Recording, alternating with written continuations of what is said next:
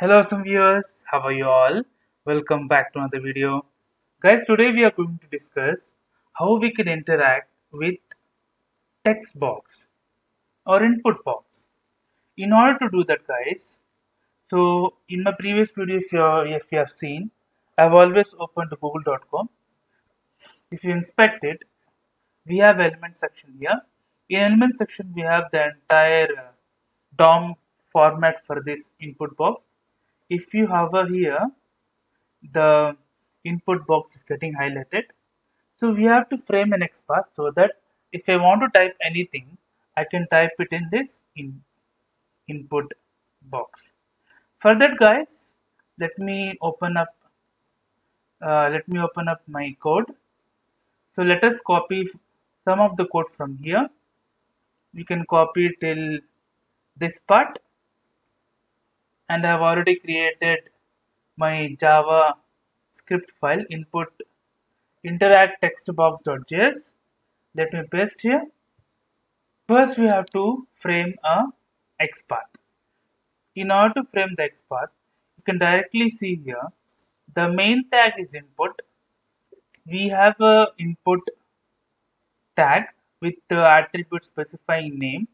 So name is q Based on this attribute, we'll uh, frame an XPath and based on the XPath, we will uh, try to write something in the input in the input box or a text box. Let me minimize this. Now, this in this code we have we are only we are only launching google.com. Now we are not doing any interaction on it. So let me let me rephrase the describe uh, text to to testing input box or maybe interacting with input box. That might sound good. With input box. So let the block will be launch browser uh, for now. We'll do one thing. I'll uh, I don't want semicolon for now we are we have now launched the browser. Now we have to create element. This element will hold the key for the input box. We'll take await space page dot. We have method called wait for xpath so if you open the bracket it takes xpath as string. We have many options invisible a visible option, boolean hidden, boolean timeout, etc. For now only we have to frame an XPath. So let us now frame an XPath. For framing an XPath guys, we have to first take a tag. So tag will be input and in the open bracket close bracket we have to specify the attribute. So attribute was name so now what was the what was there inside that attribute? So q. So this will uh, uniquely identify our text box. Now we'll click on enter.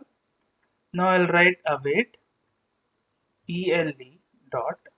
If you put dot so now it opens up uh, methods which can be used here. So type and upload file. So i'll use type so what I can type? I want to type this is Google input box and I'll close the browser. So I have to use await browser dot close.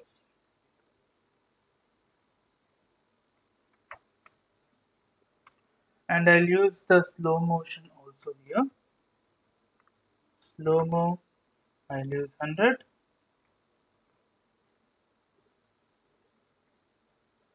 and let me also use await page dot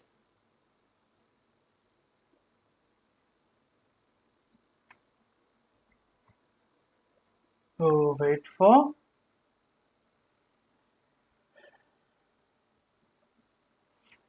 so values wait for timeout.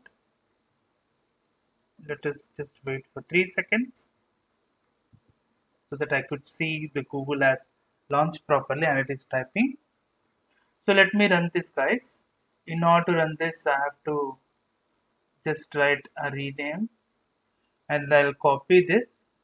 I'll use package.json and I've pasted it interact textbox.js so I'll save this. Now npm test. Now what will do it will launch the browser and it will wait after that it will wait for 3 seconds. It will find that input element text box. Then it will write google.com and then it will close the browser. So now let us see. So now so it has launched the google. So google.com it has opened it so it is loading. So it has it, it will wait for three seconds. Now it will type the text which we have given.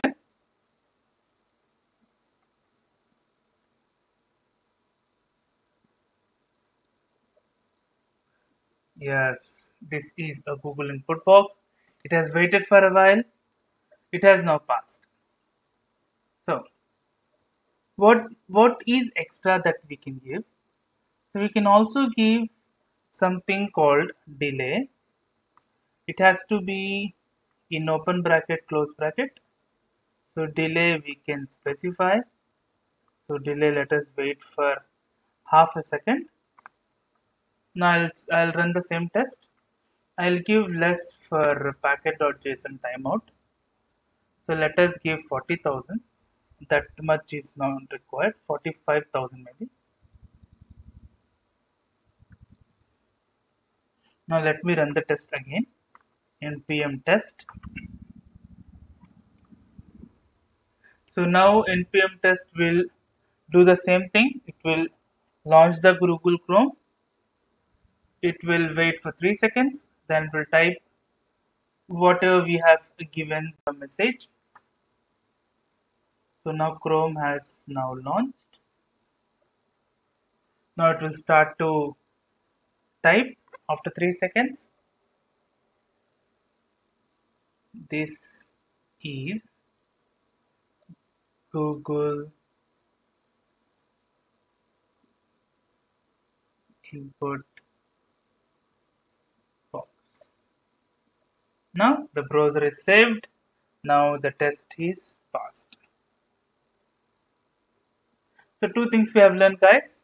We have learned wait for XPath is one method where we can give the XPath and we can find the element uniquely and the type function where we can type and also we can give the delay.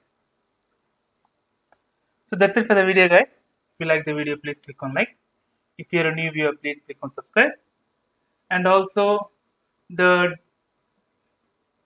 code will be in the description. If you like to enhance or if you want to put any comments please let me know in the comments below till then guys take care. Have a great day. Bye bye